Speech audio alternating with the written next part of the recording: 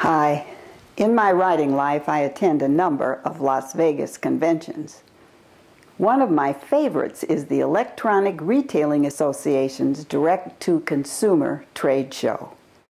This is a trade show for all the infomercial and shopping channel folks and the people who bring you wrinkle cream and other wonderful products online. I am a customer of such products myself from time to time. My husband says I am easily duped.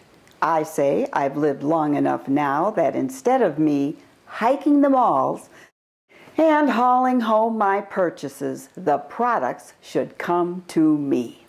At any rate, as a result of my attending that convention, I am now a subscriber to Electronic Retailer magazine. This month's magazine discussed a problem I had never before considered. Writer Scott Richards says that if a company has a toll free telephone number that is not an 800 number, say an 866 or 888 number, thousands of potential buyers are missed.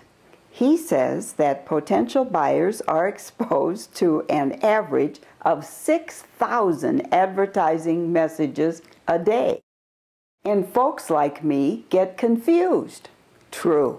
He cites a report in the New York Times. The American Idol TV program has an 866 number. And although the number is repeated at least five times during a broadcast, 250,000 people typically dial the number as if it were an 800 number. Some call back using the right number, some don't. Smart Talk is a prepaid cell phone. They have an 877 number and they have 67,000 missed dials every month.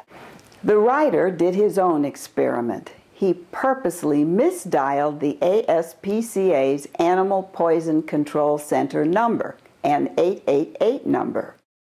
He reached a family business of jewelers. These jewelers forwarded their calls to their home on weekends and holidays.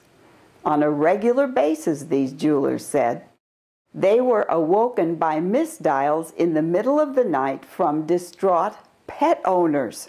Ooh, a big oops, I shouldn't laugh. For a few dollars more, says Richards, an electronic retailer should forget 866 or 888 and get an 800 number. I called the people at Grasshopper who sell toll free services and found that an 800 number costs just $30 more initially than an 866 number.